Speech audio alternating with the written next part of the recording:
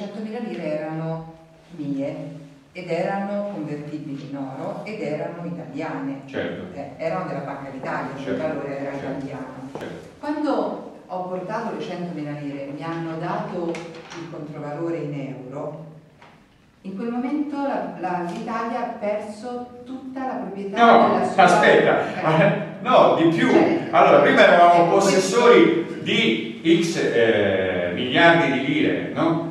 Eh, vabbè, non entri- entriamo nel dettaglio troppo perché eh, eh, eravamo possessori. Dopo siamo diventati debitori. Allora, però È per, folle, per correttezza, folle. per correttezza, Orazio, scusate, dico soltanto una Scusate, ma il debito a un certo punto va, va, va riscosso.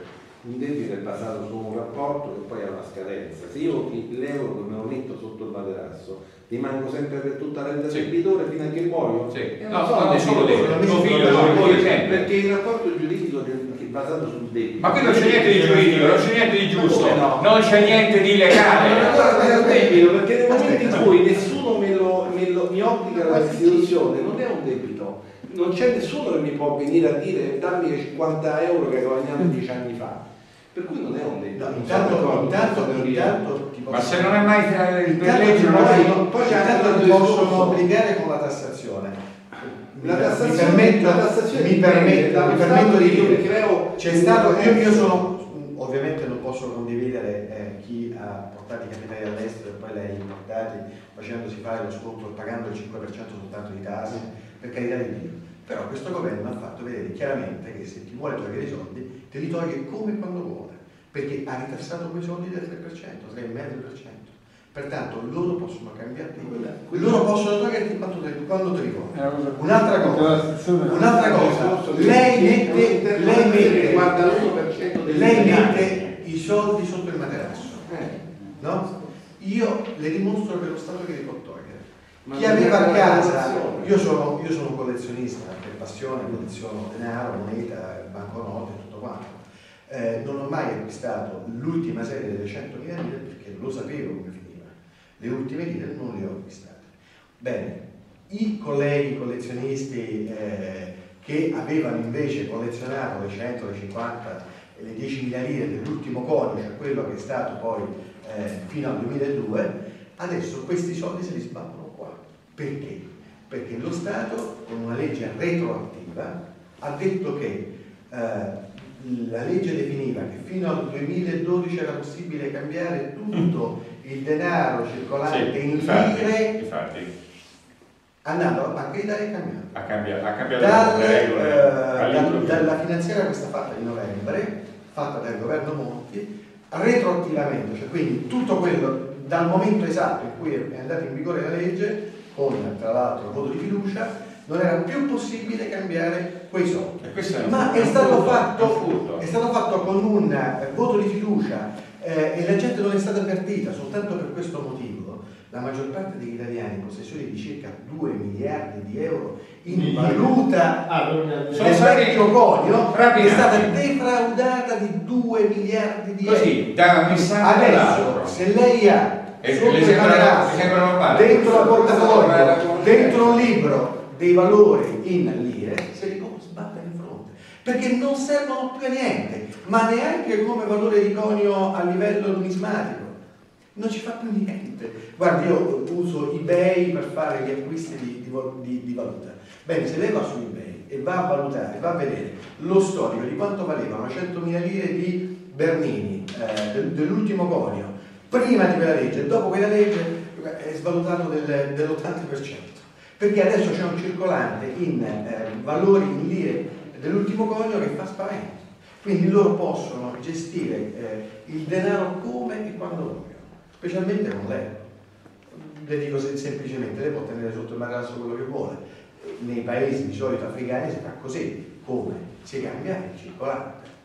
Eh, la mattina si sveglia il re del Marocco, cambia eh, il, il- il circolante in giro, non dice niente a nessuno, se lei soldi sotto il materasso il giorno dopo vai e li Sì, butti. però ci può essere anche un discorso, eh, ci può essere anche un discorso differente. Io posso con i soldi che in mio possesso acquistare dei beni che hanno un valore certo. che è convertibile in Quello sì. moneta. E infatti, Eh, dice- eh, infatti gli italiani sono proprietari di casa. sono soldi poi alla fine. E infatti gli italiani sono tutti proprietari di casa, perché l'associazione popolare degli italiani ci dice dovete comprarvi casa perché il mattone è l'unico ricovero del denaro. Comunque quel discorso diceva, adesso- Diceva. adesso- Adesso la-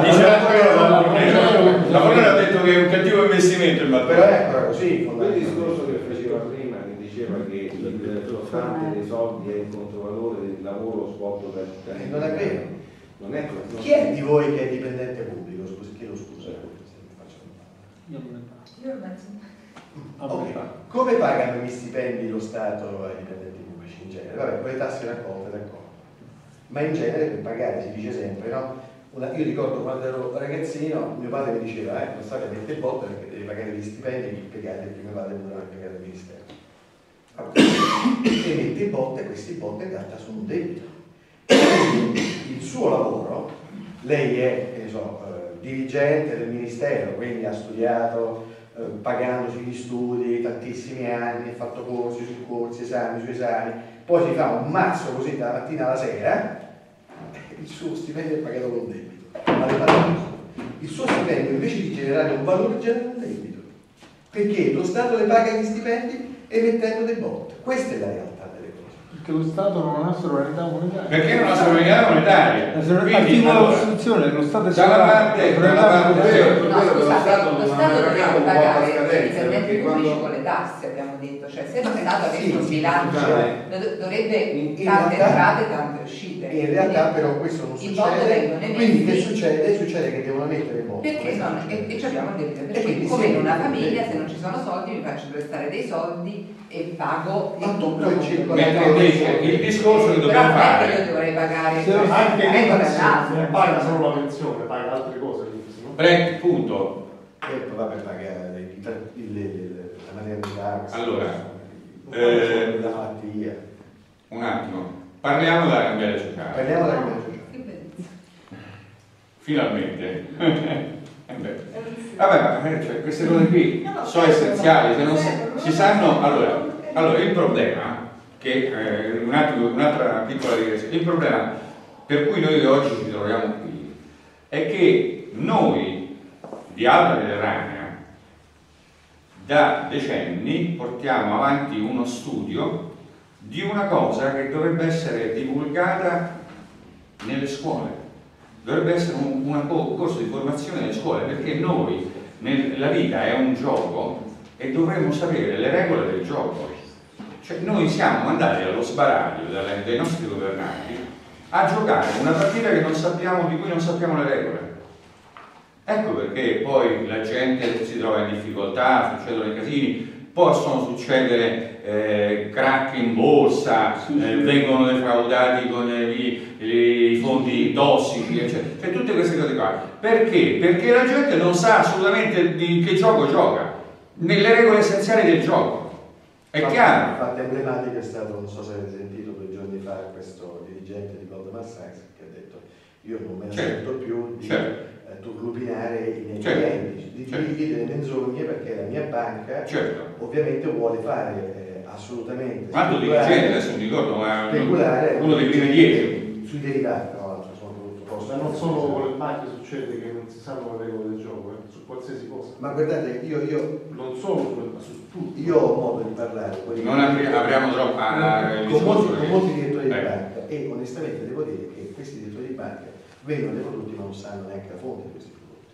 Cioè non sanno neanche, sanno che c'è una Le percentuale. regole base. Però la regola base sfugge a tutti, sfugge, sfugge a un direttore di banca. Ma ormai cioè, Non ho casino. è il caos totale. Ma questo è voluto. È voluto. È voluto, non è casuale. È voluto. È voluto perché se la gente sapesse le regole del gioco, giocherebbe in maniera più consona e certi giochi sporchi non si potrebbero fare.